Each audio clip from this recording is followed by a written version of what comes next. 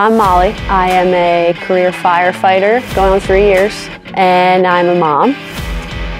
I have been a CrossFitter slash weightlifter for about 10 years, and overall just a fitness enthusiast, big time lifer.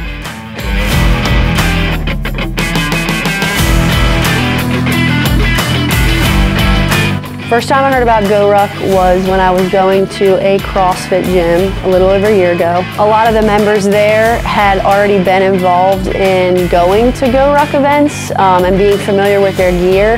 It piqued my interest because I could see all these people within my community doing, you know, GoRuck events using their equipment.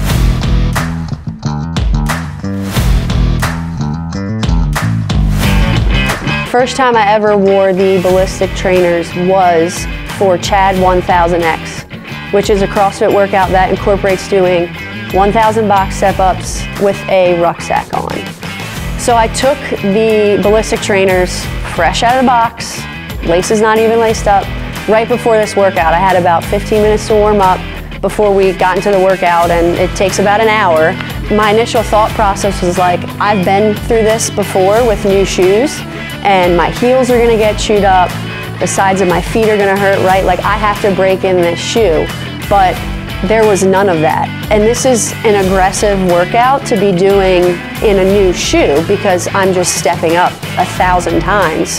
It was comfort from the get, right out of the box, never chewed my feet up, never had any, you know, pain in my feet.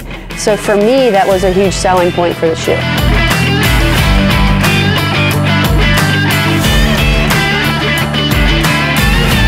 I've kind of always been in search of this shoe that has all of these things that work for me. And I've never been able to find that shoe because it was always, you know, it's not comfortable to run in. So now I have to get a pair of running shoes. Or it's not comfortable to do, you know, barbell work in. So now I have to get a shoe for that. Or it's not comfortable to just wear all the time, you know, doing everyday things. So I have to get a shoe for that. What the ballistic trainers have against all of these other shoes in the CrossFit space that I've tried is that I have one shoe to do all of these things and to do it in comfortably, which for me is the number one thing.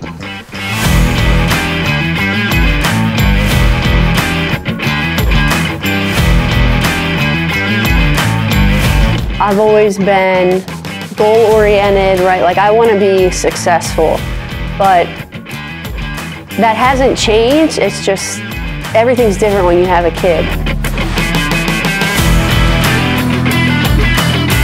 Before I was motivated more in a selfish way because it was just, I was on my own time, like I just had me.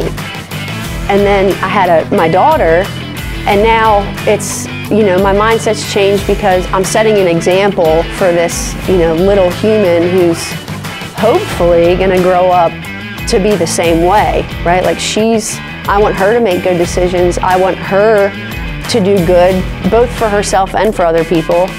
Um, so for me, I think the biggest thing motivating me now is being a good role model for her.